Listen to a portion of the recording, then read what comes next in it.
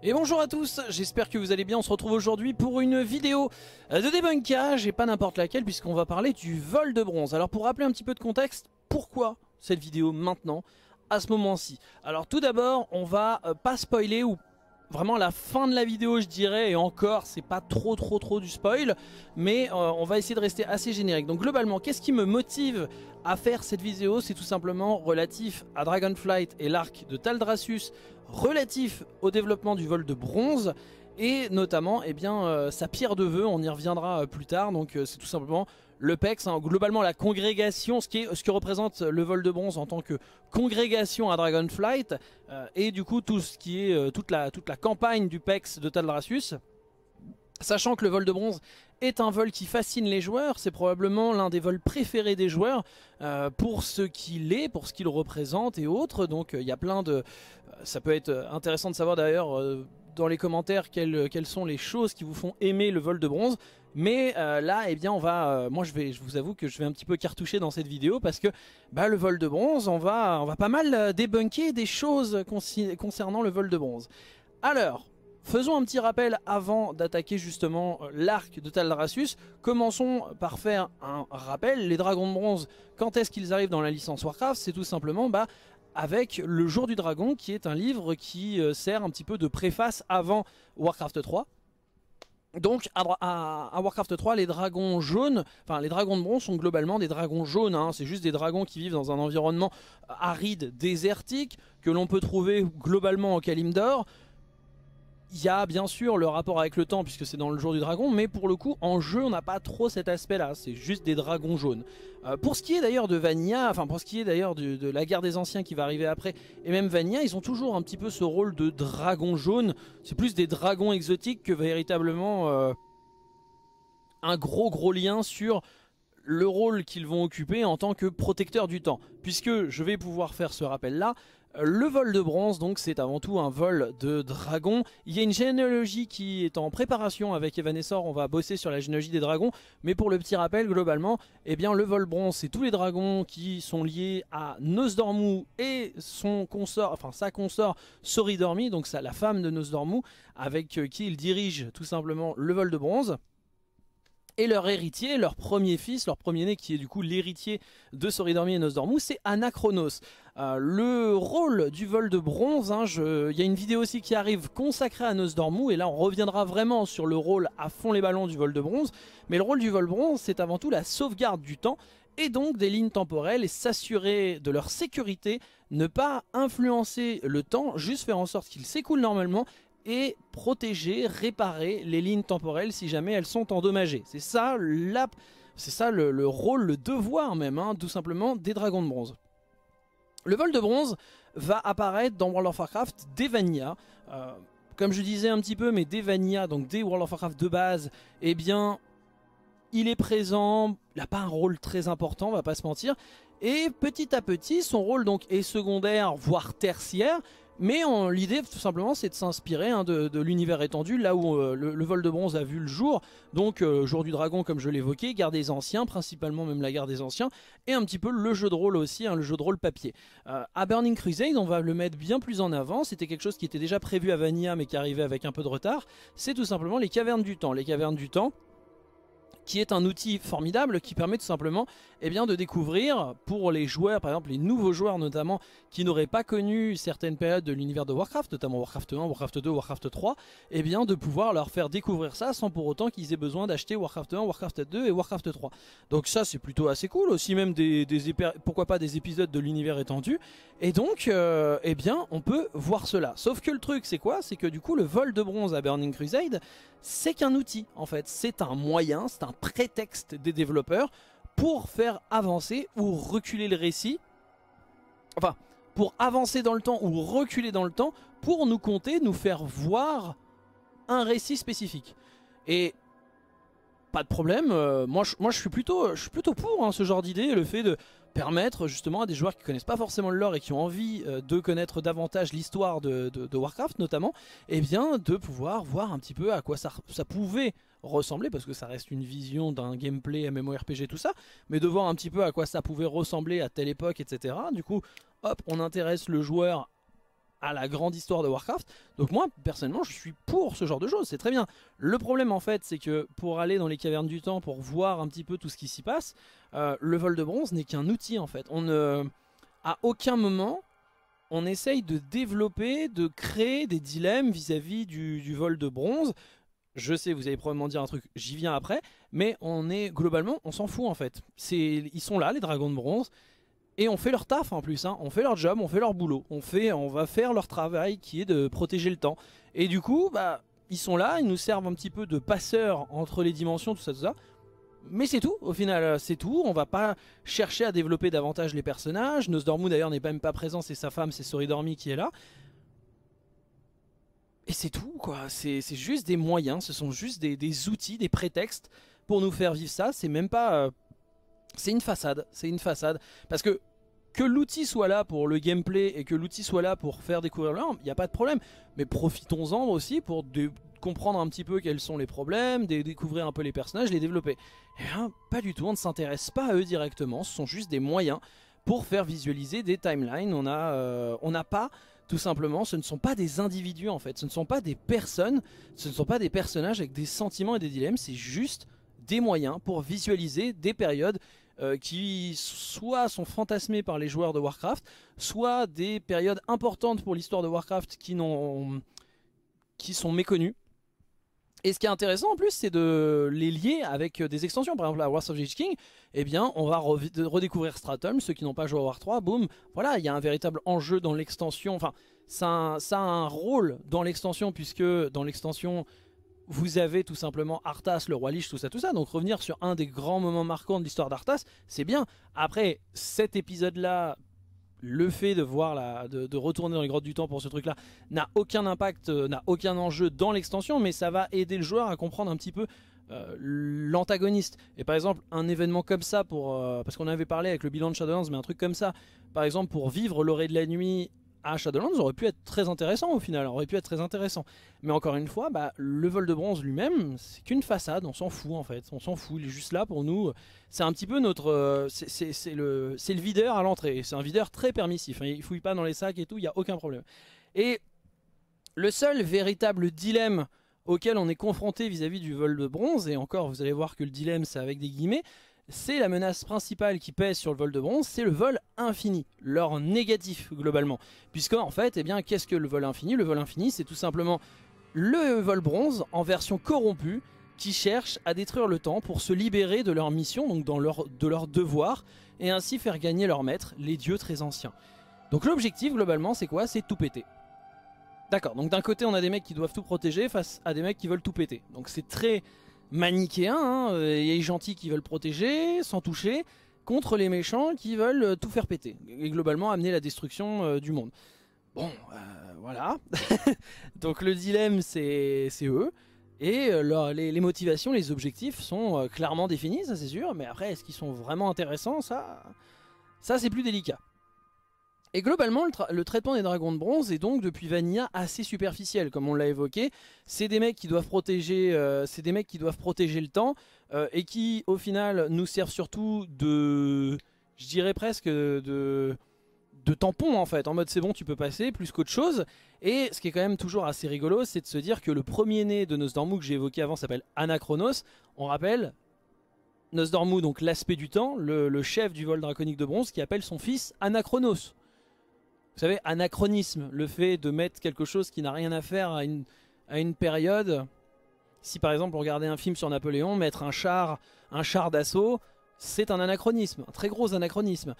Donc littéralement il appelle son premier-né Anachronos. Rien que ça déjà, ça aurait dû nous, ouvrir les yeux sur le fait que c'est un peu, on s'en fout, un foutage de gueule quand même.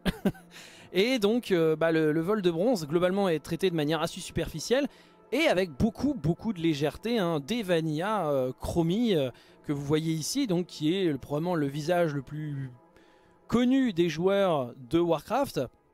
Et pas que, un Hearthstone, enfin Warcraft avec vraiment la, licence Warcraft, hein, soit avec Hearthstone ou même dans Heroes of the Storm, etc. Chromie, c'est le visage du vol de bronze et bah, elle prend une apparence de gnomette, hein, de petite gnome, et euh, c'est l'humour est très très présent, on va dire. Hein. L'humour est très très très présent beaucoup de blagues sur le temps, donc il y a beaucoup de légèreté. Donc en gros ça nous fait quoi? Ça nous fait depuis Vanilla un traitement, un développement du vol de bronze qui se fait vraiment en surface, très superficiel, avec beaucoup, beaucoup, beaucoup de blagues. Et en plus le pire c'est que ça aurait pu être justement le trait de personnalité de Chromie, le fait que ce soit elle qui soit assez drôle par rapport au reste du vol de bronze qui est très taciturne, très dans tunnel vision, genre j'ai vraiment ma... Euh, nous devons vérifier, nous devons protéger le temps, etc. Et que Chromie justement aurait été un petit peu l'ambassadrice, celle qui justement euh, amène le sourire, qui est beaucoup plus proche des... Mais il n'y a même pas eu cette volonté-là euh, de la part des devs, puisque globalement, tous les dragons de bronze, à part Nosdormu, globalement, tous les dragons de bronze, ils font des petites blagues sur le temps en permanence. Hein, euh, Ah, je suis contente de vous revoir, c'est la première fois qu'on se voit, etc. etc. Et c'est pas propre à Chromie en fait, hein. c'est visible chez beaucoup de personnages, ce genre de petites blagues avec le temps. Et au final, le vol de bronze, eh bien, c'était globalement un moteur à quête secondaire. Hein. Euh, c'était L'intérêt, c'était aussi d'avoir vraiment... Euh, de pouvoir satisfaire des fantasmes des joueurs ainsi que des développeurs sans conséquences directes pour l'histoire comme on l'a vu avec Wars of King par exemple au sens global et à ce niveau là euh, Evanescor comme moi-même sommes extrêmement favorables à cette idée c'est exactement ce qu'ils font d'ailleurs avec Diablo Immortal ils ont commencé à faire ça avec les archives de Zoltun Cool qui nous permettent de voir des, choses qui se sont passées dans le, dans le temps, on va dire, dans la période de, Diablo, et ça, moi, j'ai aucun problème avec ça. Le souci, eh bien, c'est qu'il y a eu une petite euh, dérive par la suite. Mais juste avant, donc globalement, nous avions le vol infini qui essaye de euh, foutre le bordel dans les timelines, etc. Le vol de bronze sauve la situation, ce qui est même pas vrai. Hein. Le vol de bronze nous permet de, euh, de sauver la situation, parce que globalement le vol de bronze ne branle rien. Leur objectif c'est de protéger le temps, mais finalement ils ne font rien et ils permettent juste aux joueurs de faire leur, de faire leur boulot, hein, bien entendu.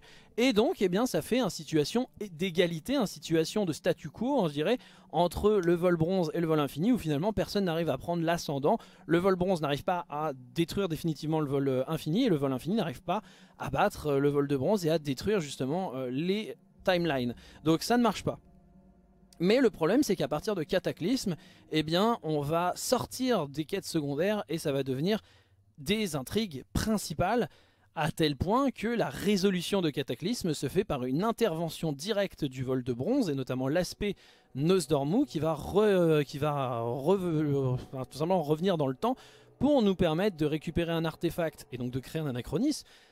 Utiliser un artefact qui n'existe plus aujourd'hui, le récupérer dans le passé pour le ramener dans le futur et l'utiliser donc dans une timeline où il n'est pas censé être présent vidéo sur Cataclysme là-dessus, hein, je vais pas rentrer dans le détail, mais c'est littéralement, il est en train de violer son devoir. Il a littéralement violé ses attributions, il a, il a euh, renié le serment qu'il est censé euh, faire. Donc ça c'est quelque chose de, très très grave et qui a été extrêmement minimisé dans Cataclysme. Hein. Les devs n'ont pas fait ça en mode « Oh là là, ça va avoir un impact ». Non, non, non, à l'époque, aucun impact, pas de souci, euh, je fais ça, il n'y a, y a, pas de souci. Donc encore une fois, le truc c'est on ne doit surtout pas toucher au temps, nous sommes les gardiens du temps, euh, pas toucher, juste protéger.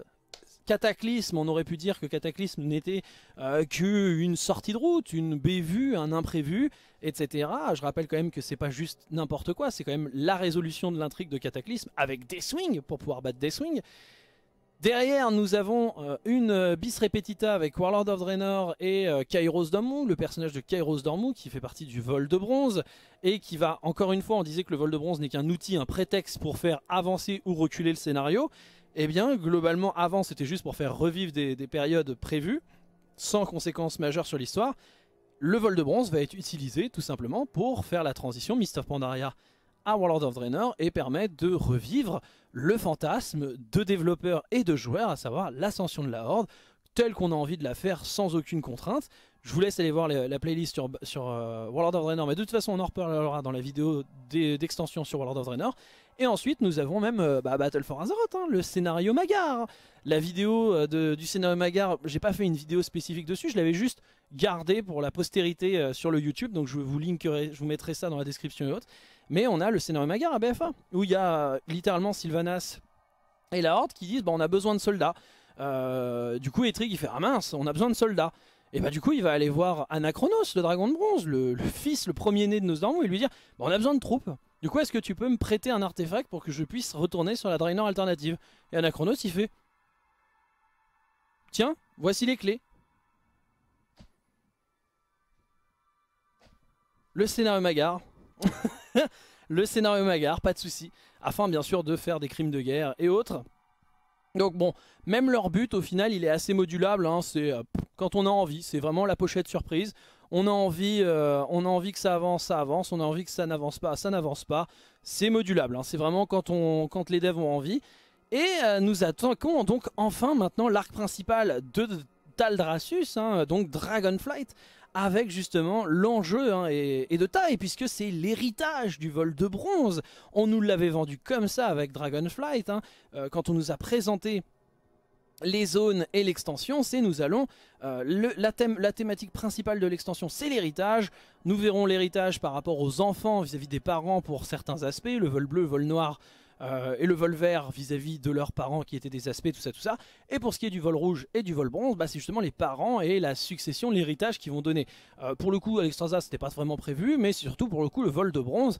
Euh, Nosdormu vis-à-vis du, du, vol infini, etc. Ce qu'il va amener, puisque Nosdormu quand il passe, euh, le chef du vol infini n'est autre que le pendant de Nosdormu, à savoir Murozond, hein, qui est un anagramme de Nosdormu. Et donc le chef du vol, de le chef du vol infini, c'est le chef du vol de bronze.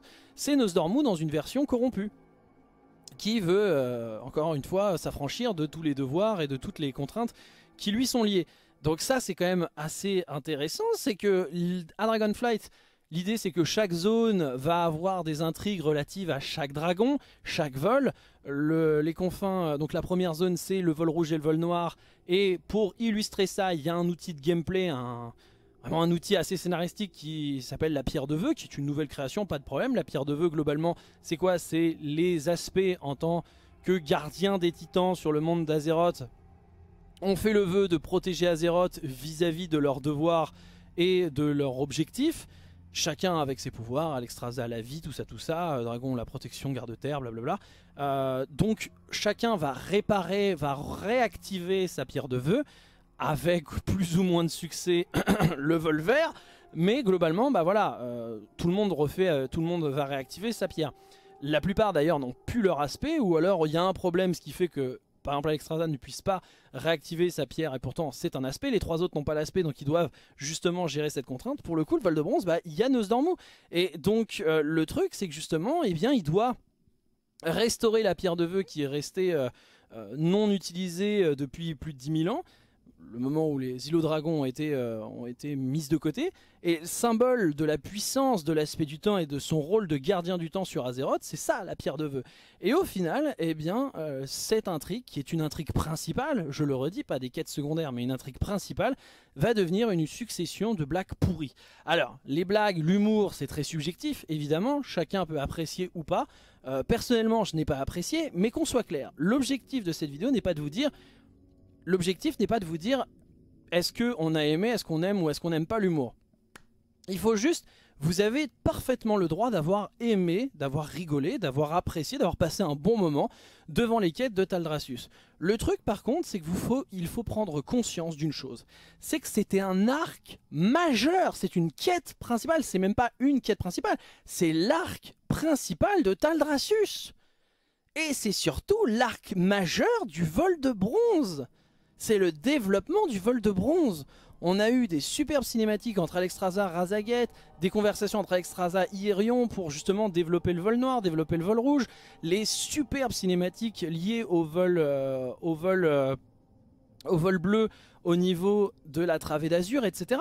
Donc c'est un l'arc majeur du vol de bronze. Ça veut pas dire que c'est terminé pour l'extension, on en reparlera un peu après, mais c'est le socle, les fondations pour, les, pour le développement du vol de bronze à Dragonflight. Alors, j'ai dit que je spoilerai pas euh, des masses, mais globalement, c'est une succession de blagues.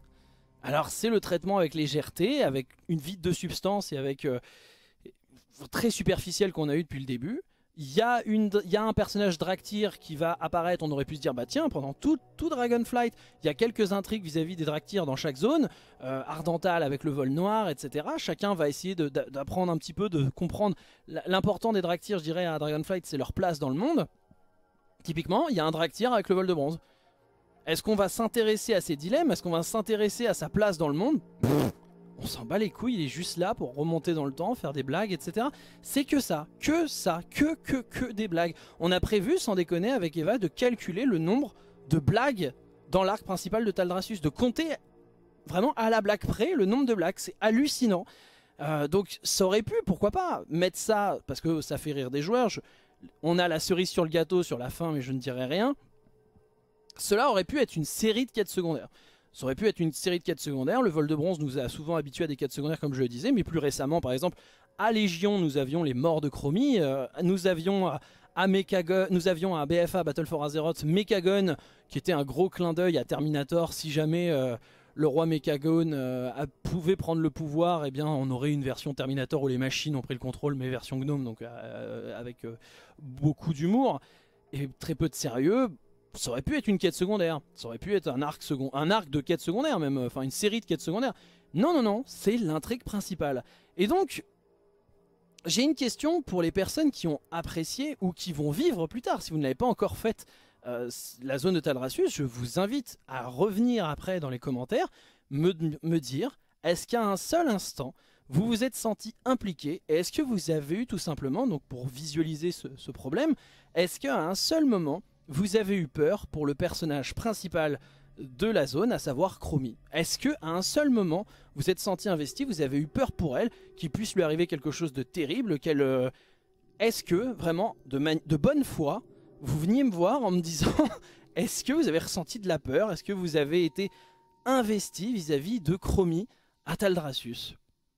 Le danger que représente l'arc principal, que les menaces qui arrivent puissent peut-être potentiellement tuer Chromie.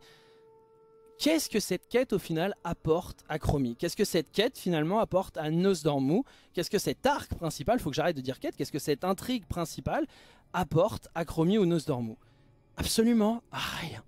Ils étaient comme ça avant, ils sont comme ça après, ça ne change rien du tout.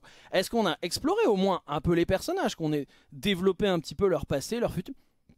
Que dalle Et au final, on se rend compte d'ailleurs que la pierre de vœu du vol bronze, eh bien, elle aurait pu être réactivée dès le départ, il n'y a pas besoin de tout ça pour finalement la réactiver. On aurait pu la réactiver direct. Mais non, Nosdormu, eh bien, il, est FK, il fait rien du tout. Et j'en profite, on va, il va y avoir une vidéo spécifique à Nosdormu, comme je l'ai dit. Mais, on le rappelle, c'est une intrigue qui est extrêmement mature à la base sur le papier. C'est quoi? C'est l'héritage du vol de bronze, le fait que Nosdormu, un jour ou l'autre, va devenir une entité du mal. Et je ne spoil rien, hein. c'est comme ça qu'il nous avait annoncé euh, Dragonflight. Hein. Et c'est euh, ça existe depuis plus de cataclysmes, plus vieux que cataclysme, etc. Donc la succession, le fait qu'un jour potentiellement il va euh, céder aux sirènes des ténèbres et devenir Nosdormu, c'est quelque chose, c'est un arc véritablement très fort avec l'idée d'héritage, comment, comment justement changer ça. Le fait qu'en plus euh, Blizzard veuille laisser des messages inclusifs, qui moi je suis tout, je suis pas du tout contre. Faut voir après comment c'est fait, mais je suis pas du tout contre. Je veux dire, vous avez un arc super fort. Sori Dormi, elle a toujours tenu la barre, qui est la femme de nos elle a toujours tenu la barre pendant qu'il branlait rien et qu'il était, euh, il était ailleurs. Il y avait vraiment un moyen de développer Sori Dormi.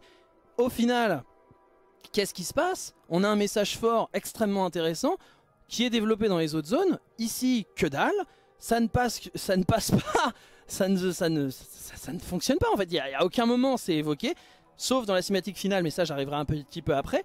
Et quand l'intégralité des quêtes, c'est des blagues, du poète-poète, des conneries, des conneries, des références à plein de films de la pop culture, etc. Que Nosdormu, eh bien, il ne fait concrètement que dalle. Hein, vous allez me dire, c'est pas la première fois, mais il fait rien. Il est FK, il fait pas son job, il pourrait faire des trucs, intervenir directement. Non, encore une fois, comme les cavernes du temps, c'est nous qui faisons tout. Eux, ils font rien du tout. Voire même, ils font les cons. Ils font des conneries. Pas forcément Nosdormu, mais les autres font des conneries. C'est à nous de réparer leur merde. Super. Et pour vous dire, son premier-né, l'héritier du vol de bronze, Anachronos, n'est même pas présent pour le moment dans l'extension. Alors ça, désolé, euh, c'est quand même vraiment problématique. Anachronos n'est pas présent. Donc, ok, encore une fois, vous avez, vous avez rigolé, vous avez passé un bon moment. Mais tout ça, c'est du développement. En fait, il faut, encore une fois, prendre conscience des choses. C'est-à-dire que l'objectif de cette vidéo n'est pas de vous dire ce que vous devez aimer, ce que vous ne devez pas aimer. Si vous avez passé un bon moment, tant mieux. Personnellement, j'ai eu l'impression de me faire pisser dessus. Et une pisse bien jaune, hein, vous savez, la pisse de, une pisse de bronze. Ou alors même, voilà, on nous a coulé un bronze dessus. C'est clairement, clairement le, le sentiment que j'ai eu. Mais si vous avez aimé, tant mieux, tant mieux. Par contre, il faut réussir à prendre un petit peu de recul sur nos goûts et nous rendre compte des répercussions que ce genre de quête a sur l'histoire de Warcraft et sur le jeu en lui-même. Parce que le problème, c'est que ça, eh bien c'est tout un arc de développement, c'est des moyens, c'est de l'argent, c'est des cinématiques, c'est du temps de développement qui n'arrivera pas en fait. Ça a été fait pour le vol noir, ça a été fait pour le vol bleu, ça a été fait pour le vol rouge, mais du coup ça, ça n'arrivera pas pour le vol de bronze. Vous allez me dire peut-être que ça arrivera plus tard machin. Oui mais c'est trop tard, c'est ton ciment, c'est ta base.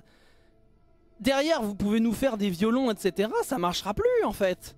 Quand il n'y avait rien, quand tout ce qui a été fait, enfin littéralement c'est une copie. Imaginez chaque, chaque vol rend sa copie à la fin, et vous avez bah, euh, globalement de la matière, on peut critiquer des trucs, etc. On peut dire, bon, 14, 15, peut-être faire une note, machin. Le vol de bronze, c'est plus, euh, qu'est-ce que l'audace? C'est ça, c'était rend une, euh, une copie vide. Et ils ont mis des, petites blagues en base, il fait 2-3 petits carambars, 2-3 petits trucs. Waouh, bah d'accord. Mais globalement, bah, vous avez un épisode, une tragédie potentiellement. Si Nosdormu devient Murozonde, ça on n'en sait rien dans l'extension. Il y a de grandes chances, mais on n'en sait rien eh bien ta tragédie elle est totalement dédramatisée parce que à quel moment on s'est senti investi par Chromie ou par Nosdormu les seuls peu, les seuls, il n'y a pas d'enjeu en fait. Tous les enjeux sont morts. Il n'y a aucun enjeu.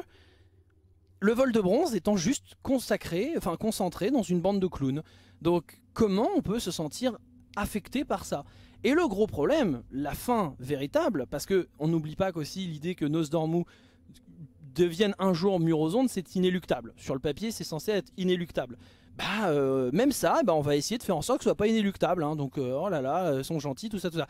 Et le truc, en fait, c'est que le résultat concret, parce qu'on a parlé de tout ça, concrètement, ça veut dire quoi? Si les joueurs kiffent, bah, Blizzard va en faire. Blizzard va en remettre. Et Blizzard va pas se remettre en question sur ce qu'ils viennent de faire. Ils vont continuer à faire ça vu que les gens kiffent. Ah, c'est rigolo. La petite cerise sur le gâteau là à la fin du l'arc de Talrassus. Ah génial, hein, c'est vraiment trop bien. J'ai beaucoup rigolé. à quel moment Blizzard va se dire bah faut qu'on arrête de faire ça? Tout le monde adore. Ou en tout cas les personnes, peut-être que certains n'aiment pas mais ils le font pas trop savoir. Ou ils l'utilisent comme prétexte pour dire que WoW c'est devenu de la merde. Mais après, faudra pas se plaindre, parce que derrière, c'est ceux qui disent oui, euh, Mr. Panda, c'est pas du Warcraft, blablabla faut pas se plaindre hein, derrière. Hein. Warlord of Draenor, ça, vous pouvez pas vous plaindre. C'est ce, ce, genre de truc. Et faudra pas se plaindre qu'il y a eu zéro développement sur le vol de bronze et sur Nosdormu. Vous avez eu vos petites blagues références à, tous vos films pop culture et poète poète poète poète. C'est bon? Nickel C'est ça le gros problème. C'est ça l'énorme problème de ce genre d'arc en fait. C'est les répercussions derrière sont terribles. Et je parlerai même pas de tout ce qui est conséquences, cohérence du voyage dans le temps, ça ce sera dans la vidéo sur Nosdormu. Mais euh, c'est, en fait c'est juste inciter les devs à continuer à faire ce genre de truc. Et ensuite il faudra pas se plaindre, parce que c'est ce qu'on fait. Donc globalement, comment voulez-vous... Alors là, je vais spoiler un, un donc on peut s'arrêter là pour ceux qui veulent pas être spoilés. Mais globalement, même c'est pas vraiment un gros spoiler hein, de toute façon. Mais euh, globalement, comment voulez-vous que la cinématique finale du dialogue entre Nosdormu et Chromie à l'égard de l'héritage du vol de bronze puisse fonctionner alors que la technique est très jolie, hein, vraiment elle est très très jolie la cinématique. Mais comment voulez-vous que on puisse se sentir investi dans tout ça quand on s'est foutu de notre gueule pendant toute la zone? C'est trop tard. De vouloir la jouer dramatique après ça, c'est trop tard. Et j'ai le sentiment qu'on va avoir la même chose sur l'extension. Que derrière, on va nous sortir les violons en mode Oh là là, Nosdormu qui devient Murozonde, oh là là, c'est triste, oh, et on va tuer Murozonde à la fin, et il va dire un truc genre Oh, je ne vois que les ténèbres, euh, oh, vous merci, vous m'avez libéré, euh, aventurier, machin. Mais j'en ai rien à battre. Juste Osef, on s'en fout, la menace elle est totalement décrédibilisée, on n'en a rien à battre. C'est ça, ça le problème.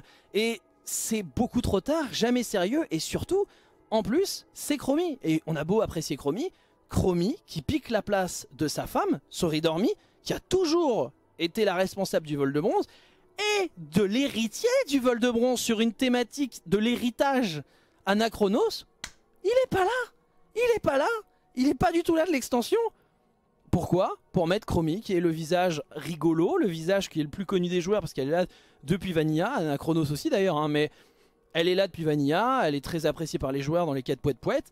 Du coup, bah voilà, Chromie qui vient.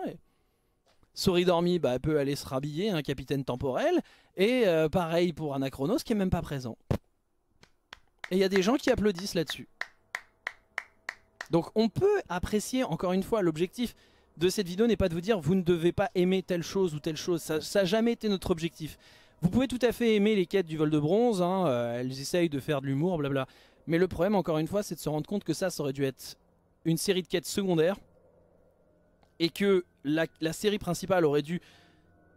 Parce que même ça, en fait, hein, même si vous faites des quêtes secondaires QQ comme ça, bah, le problème c'est que ça va quand même un petit peu ruiner l'intrigue principale. Mais au moins, c'est dans une quête secondaire, on peut dire, bon voilà, l'intrigue principale, elle aurait pu se concentrer vraiment sur l'héritage, sur les implications, les enjeux, développer les personnages de Nosdormu, de Chromie, de Soridormi, pourquoi pas, parce qu'on peut pas faire tous les persos, d'accord, je veux bien. Le drag tir de bronze pour développer un petit peu le, le côté euh, quelle est ma place dans ce monde? Est-ce que je peux m'intégrer dans un vol bronze alors qu'à la base je suis, juste un drag tir donc je n'appartiens à aucun vol, tout ça, tout ça? Il y avait des choses, il y avait des choses à faire, c'est super intéressant. Le socle de départ était super intéressant et au final c'est pour nous chier ça quoi. C'est pour nous chier ce bronze là, c'est... Ah, enfin... Donc encore une fois, vous pouvez apprécier, mais rendez-vous compte des répercussions que ça a sur l'histoire de Warcraft. C'est ça le problème. C'est vraiment ça le problème. Voilà, je sais cette vidéo est un petit peu négative, mais euh, globalement, bah, Dragonflight, il y a de très bonnes choses. Encore une fois, le, développement du vol noir, du vol rouge et du vol bleu sont très bien. Je n'ai pas parlé du développement du vol vert, lui aussi peut-être, un jour on aura sa vidéo. Mais le vol de bronze, c'est une catastrophe. C'est clairement une catastrophe, et le pire, c'est que, eh bien, euh, on, le rappelle, les vidéos d'héritage, tout ça, tout ça, j'en ai déjà parlé, c'est signé. Nosdormu, ça sera un, boss à abattre. Ça sera probablement un boss à abattre. J'en sais rien, c'est un call, faut utiliser le conditionnel. Mais c'est probablement un boss qu'on va, va devoir flinguer. Et j'ai envie de presque de dire que ça a déjà été, euh, c'est déjà signé à partir du moment où le premier donjon qui était là, c'était le pré-patch, c'était Uldaman. Il y avait le vol infini. Donc Murozonde il arrive. Et comment voulez-vous que je me sente investi, qu'on se sente investi quand Murozonde, bah, on n'a même pas développé Nosdormu, donc qu'ils deviennent Murozonde, Osef. Et donc ça, ce sera l'objet eh bien de la prochaine vidéo qui sera consacrée à Nosdormu concernant le vol bronze et, euh, Dragonflight. Voilà, j'espère que cette vidéo vous aura plu, qu'on aura essayé de, réfléchir, de, de, réfléchir et de, lever le propos, on va dire. On verra, euh, on verra comment, comment ça va être reçu. Merci à tous on se dit à bientôt pour prochaine vidéo. Pour plus de prochaines vidéos, n'hésitez pas à suivre euh, le YouTube bien entendu, ainsi que la chaîne Twitch sur laquelle on fait tous les lives et on découvre les quêtes. Bien sûr, on lit tout ça. Plein de bisous. N'hésitez pas à suivre le Twitter et le Facebook également. Et à bientôt pour la vidéo sur Nosdormo.